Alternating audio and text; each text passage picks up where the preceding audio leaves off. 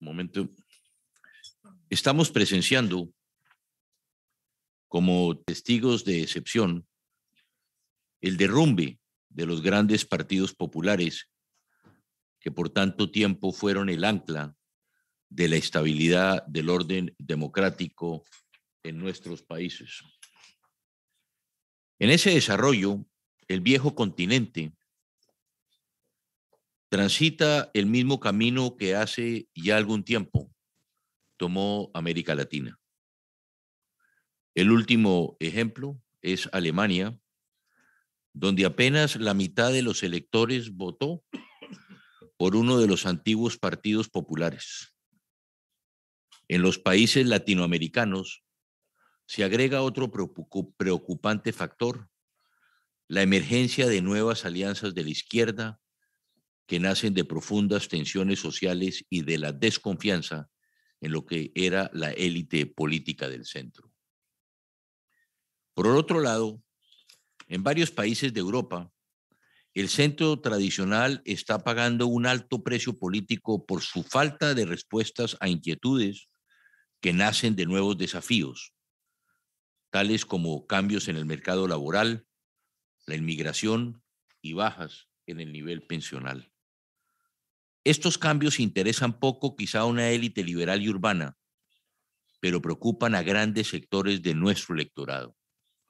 Como consecuencia, vemos cómo se están formando nuevos partidos que se apropian de un terreno descuidado por el centro de la democracia.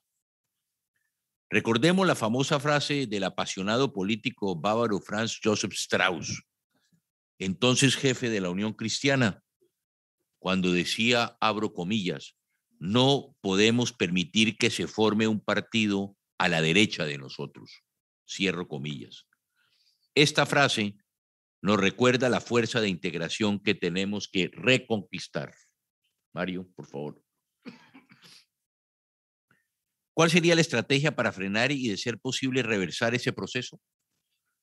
¿Cómo reconstruir el perfil de partidos que por décadas se integraron a casi todos los sectores de la sociedad por generaciones, con sus aspiraciones, aleros e intereses particulares? En nuestra opinión, esta reconstrucción exige una doble estrategia. Definir de manera contundente y clara el núcleo programático, es decir, rescatar el partido como marca.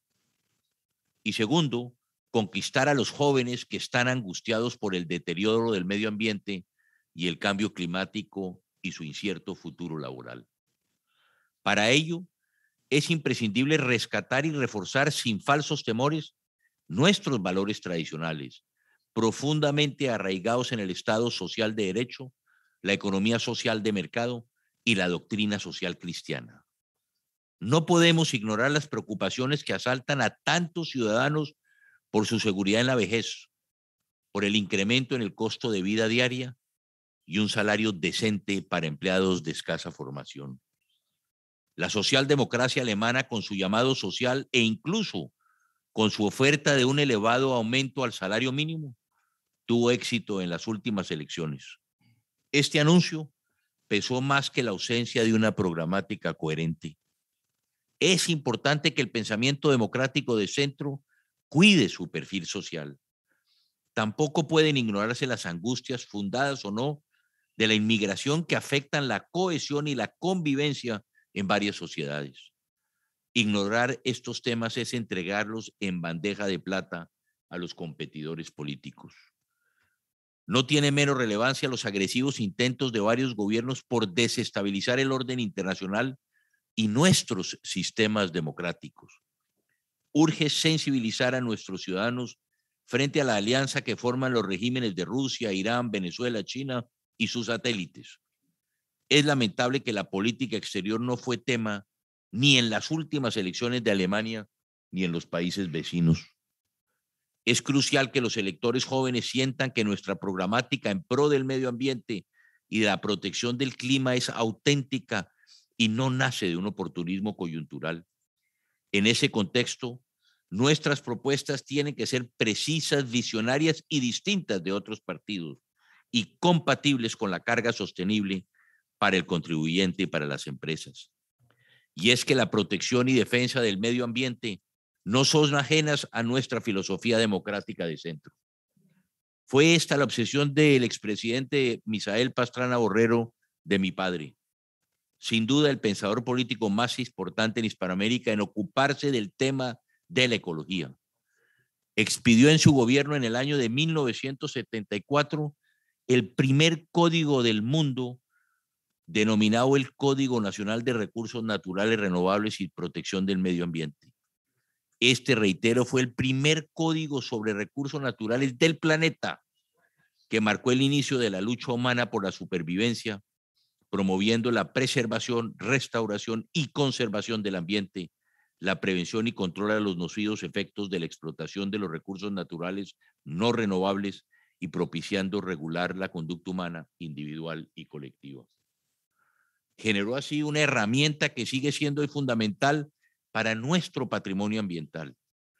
El presidente Misael Pastrana se adelantó a los problemas del siglo XXI en tiempos de la denominada franja lunática de la ingeniería. Presidió además el premio del medio ambiente creado por las Naciones Unidas, que luego sería realzado con participación de la Fundación Sasakawa de Japón. Y finalmente, estamos obligados a responder a un cambio radical en el mundo de los medios. No es suficiente lamentar la orientación de muchos medios establecidos hacia un sistema socialista o de conceptos de centro izquierda. Como en los países totalitarios, tanto del pasado como del presente que saben manipular el teclado de la propaganda engañosa, ciertos activistas de la izquierda populista aprovechan el espacio que conscientemente o no ignoró el centro de la democracia. Falta una ofensiva intelectual a través de las redes sociales que impactan hoy la visión de la juventud sobre el mundo si logramos las dos metas fundamentales, es decir, revitalizar la marca programática de nuestros partidos por un lado y conquistar a los jóvenes con sus anhelos políticos, no temo por el futuro de la democracia cristiana y la fuerza de integración de la democracia internacional de centro. Muchas gracias.